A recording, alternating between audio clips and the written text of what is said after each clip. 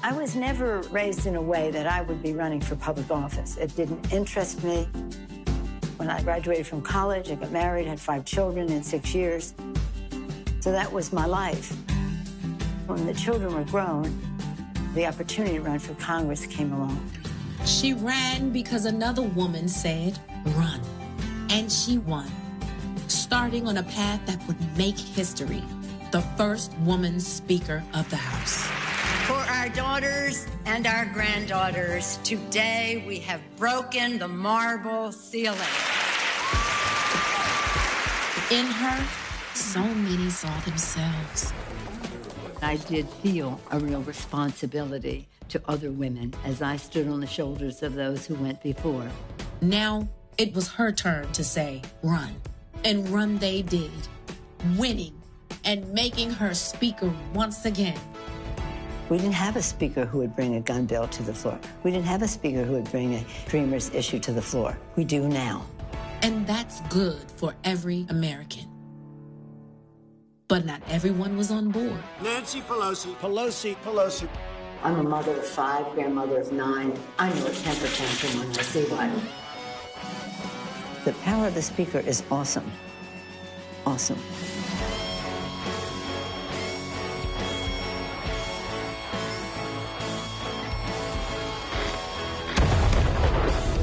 If you want to go into the arena, you have to be prepared to take a punch. But you also have to be prepared to throw a punch for the children. Throw a punch for the, children. From running the House to Speaker of the House and taking on the White House unapologetic, unafraid. Madam Speaker. Congratulations, Madam Speaker. Madam Speaker, Madam Speaker. Madam Speaker. Madam Speaker.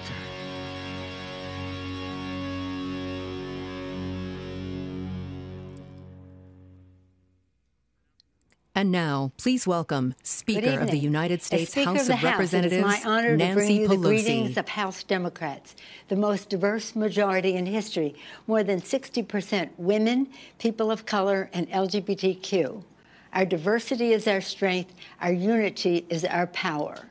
This month, as America marks the centennial of women finally women winning the right to vote, we do so with 105 women in the House. Proudly, 90 are Democrats. To win the vote, women marched and fought and never gave in. We stand on their shoulders, charged with carrying forward the unfinished work of our nation advanced by heroes, from Seneca Falls to Selma to Stonewall. Four years ago, when President Obama and Vice President Biden were in the White House, they made us proud, and their leadership made our country great. In that spirit, we come together now, not to decry the darkness, but to light a way forward for our country. That is the guiding purpose of House Democrats, fighting for the people. We have sent the Senate bills for lower health care costs, for bigger paychecks, for cleaner government, protecting John Lewis's voting rights, and enacting George Floyd Justice and Policing Act. We've sent the Senate bills to protect our dreamers, LGBTQ equality, to prevent gun violence, and to preserve our planet for future generations, and even more. All of this is possible for America. Who was standing in the way? Mitch McConnell and Donald Trump. Our nation faces the worst health and economic catastrophe in our history. More than 5 million Americans are infected by the coronavirus. Over 170,000 have died. The science based action in the HEROES Act we enacted three months ago is essential to safeguard lives, livelihood, and the life of our democracy. And who is standing in the way? Mitch McConnell and Donald Trump. Instead of crushing the virus, they're trying to crush the Affordable Care Act and its pre existing conditions benefit. As Speaker of the House, I've, been, I've seen firsthand Donald Trump's disrespect for facts, for working families, and for women in particular. Disrespect written into his policies toward our health and our rights, not just his conduct. But we know what he doesn't that when women succeed, America succeeds. And so we are unleashing the power of women to take our rightful place in our national life by championing a woman's right to choose and defending Roe v. Wade, securing safe and affordable child care, preserving Social Security, and passing equal pay for equal work.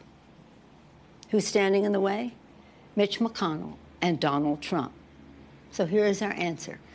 We will remember in November when we will elect Joe Biden president, whose heart is full of love for America and rid the country of Trump's heartless disregard for America's goodness. Joe Biden's faith in God gives him the courage to lead. Joe Biden's love gives him the strength to persevere. Joe Biden is the president we need right now battle tested, forward looking, honest, and authentic. He has never forgotten who he is fighting for. And Kamala Harris is the vice president we need right now, committed to our Constitution, brilliant in defending it, and a witness to the women of this nation that our voices will be heard. Our mission is to fight for a future equal to the ideals of our founders, our hopes for our children, and the sacrifices of our veterans, our brave men and women in uniform, and their families. We will increase our majority in the House. We will win a Democratic majority in the Senate. We will elect Kamala Harris vice president, and we will elect Joe Biden president of the United States of America. God bless you, and God bless America.